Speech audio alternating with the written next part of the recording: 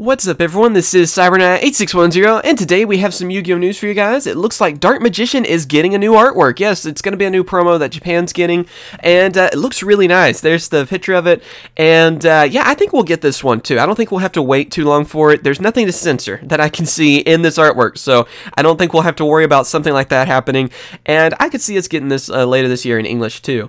Uh, it looks really nice. I mean, I would say it's probably my second favorite of all the different Dark Magician artworks, because I still am really nostalgic about the original, and of course uh, the Arcana one.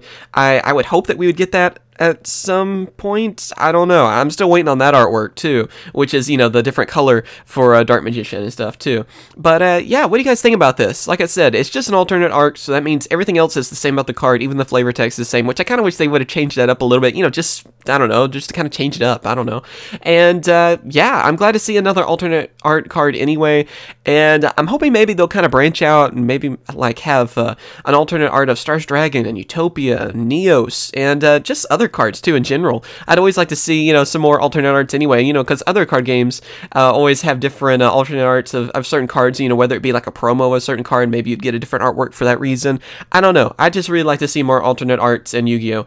But yeah, tell me what you guys think on this. Of course, uh, thank you for watching. To comment, rate, and subscribe. And also tell me how my microphone sounds. I switched out and have a different microphone now. So tell me if you uh, like the quality of it, and uh, yeah, just give me some feedback on that. So always thank you for watching. Catch you guys later. See ya. Hope you guys have enjoyed my latest video. Be sure to subscribe for more Yu-Gi-Oh videos, as well as check out my other two channels, Cyberknight Games for Let's Plays, and also uh, Cyberknight CCG for Card Fight Vanguard openings. Thank you for watching, and I'll catch you guys later. See ya.